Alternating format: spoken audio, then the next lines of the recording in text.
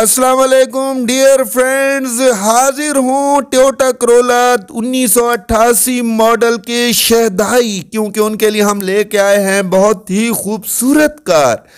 जी हाँ Toyota Corolla 1988 model लेकर आए हैं। उन लोगों के लिए जो बहुत ज़्यादा पसंद करते हैं और मुतलाशी रहते हैं, एक अच्छी सी टोयोटा करोला 1988 मॉडल के मुतलाशी रहते हैं। उन लोगों के लिए हम एक बहुत ही खूबसूरत और अच्छी सी टोयोटा करोला छियासी छियासी का सॉरी अट्ठासी का रिव्यू लेकर आए हैं। तो वीडियो एंड तक देखिएगा, मुकम्मल देखिएगा और इस गाड़ी को समझिएगा। और अगर शहदाई हैं आप इस गाड़ी के तो अगर आपको समझ आए तो आप मालिक से रबता कर सकते हैं। बोनट हमने खोला है और ये जो है सूरत हाल दिखा रहे हैं। बोनट के अंदर की, इसकी इंजन की सूरत हाल भी दिखाएँगे। कुप्पे भी आप देख सकते हैं। इंजन देखकर आपको अंदाज़ा हो जाएगा कि कितने वाल वाला इंजन है और क्या सूरत हाल है। तो ये इंजन की सूरत हाल है, ये अंदर की हमने इसकी सारी कंडीशन दिखा दी है इंजन की साइड की। अब जाएँगे गाड़ी का अंदर दिखाएँगे। अंदर बहुत खूबसूरत है। बिल्कुल बहुत खूबसूरत है। आपको पसंद आएगा कि अंदर से कितनी खूबसूरत ये गाड़ी है। फुल जेनियन तो नहीं है अलबत् गाड़ी खूबसूरत है और अच्छी कंडीशन में है। ये इसका मीटर है स्टेयरिंग है और डैशबोर्ड है जेनियन हालत में ही नज़र आ रहे हैं। सीटों की अगर बात करें तो बहुत ही खूबसूरत बनी हुई सीटें हैं और छत भी बिल्कुल सेम कलर का है। फ्रंट सीटें देखें, बैक सीटें देखें, बैक सीटें हम एक मरतबा तरसली कराएँगे। ये जो है, एक टैब भी लगी हुई है इसकी। डेक लगा हुआ है, स्पीकर लगे हुए हैं। माशाल्लाह बहुत ही अच्छी कंडीशन की कार है। ये दरवाज़ा भी दिखा रहे हैं और बैक सीटें भी आपको दिखाएँगे क्योंकि मुझे ज़ाती तौर पर इसकी सीटें बहुत पसंद आई हैं।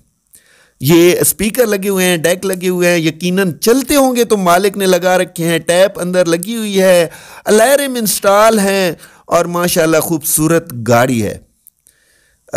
डिग्गी में हम जाते हैं तो डिग्गी में इस वक्त आप देख सकते हैं कि डिग्गी में दो स्टपनियाँ मौजूद हैं एक अलायरम है इसका मेन टायर है और एक स्टपनी भी मौजूद है।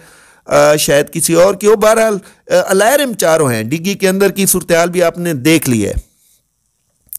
बैग का दरवाज़ा खोलते हैं और इसका भी देखते हैं।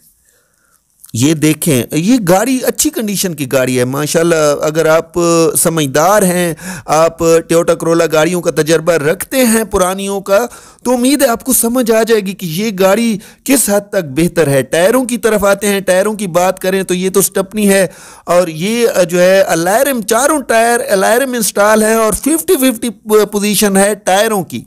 अब आते हैं इसकी कीमत की तरफ़। टायर भी आप देख लें, चारों कीमत की अगर बात करें तो पाँच लाख रुपए डिमांड की जा रही है। मजीद थोड़ी बहुत कमी बेशी ज़रूर हो जाएगी। नीचे नंबर मालिक का आ रहा है, आप इससे रबता कर सकते हैं।